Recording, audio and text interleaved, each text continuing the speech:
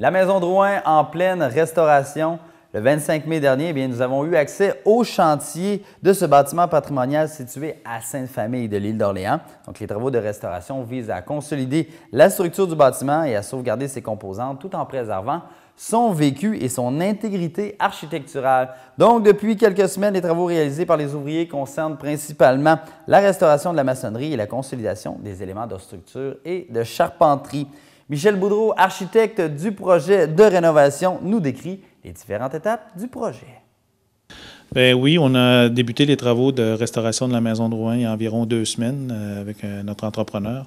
C'est un projet, euh, vraiment un projet fin de, de, restauration, donc avec des métiers traditionnels, des ouvriers qui ont déjà une très grande habileté et une très grande expérience. C'est une restauration complète de la maison, notamment de son enveloppe extérieure, sa maçonnerie, ses ouvertures, sa couverture, dans les techniques les plus traditionnelles possibles. On fait très peu de travaux à l'intérieur de la maison parce qu'elle est dans un état euh, assez bon. On veut surtout reconduire les finis et l'état des, lieux tels qu'ils nous ont été transmis. C'est un peu la maison de Rouen, euh, tout le monde, plusieurs personnes la connaissent déjà. C'est au-delà de 300 ans d'histoire. Euh, la famille, les enfants, au-delà de 65 enfants qui sont nés dans la maison. Donc, c'est cette histoire-là, cette trace-là qu'on a dans les lieux, dans, dans le bâti on veut absolument la conserver. Donc, euh, l'effort est mis pour sa restauration. Des travaux qui devraient être complétés, on l'espère, euh, aux vacances de la construction. Euh, les muséologues entrent en place dans les deux dernières semaines du mois de juillet pour une ouverture au public au mois d'août. On le sait, l'île d'Orléans reçoit beaucoup de visiteurs, notamment à partir du mois d'août et tout l'automne. Euh, les Européens sont, vraiment toujours intéressés par cette architecture-là, la visite. Euh, habituellement, c'est entre 5 000 et 6 000 visiteurs que la maison reçoit. Donc, on la prépare à recevoir euh, ce public qui est de plus en plus important. Quand on parle de restauration, on parle de vraiment, on essaie d'être le plus fidèle aux techniques qui étaient utilisées autrefois.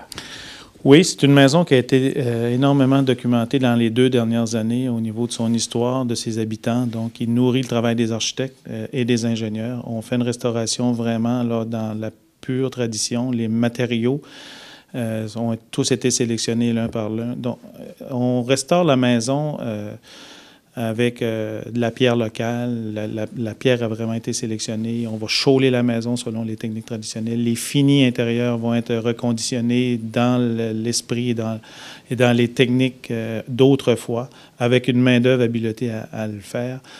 Et euh, c'est une maison qui, qui, sera complétée aussi par des blocs sanitaires pour recevoir les visiteurs. Donc, vraiment, ça va être un lieu magique l'histoire, l'architecture, euh, ses habitants, je pense que tout ça lié ensemble euh, est d'un très bel intérêt. Et vous, j'imagine que vous n'en êtes pas à votre première restauration non plus. Non, je suis assez choyé dans ma vie. Là, euh, depuis les cinq dernières années, 90% de ma pratique n'est que sur des, des lieux classés, soit patrimonial ou historiques. donc, j'en fais un peu partout sur le grand territoire du Québec. Donc, je me, je me, considère comme un architecte très choyé.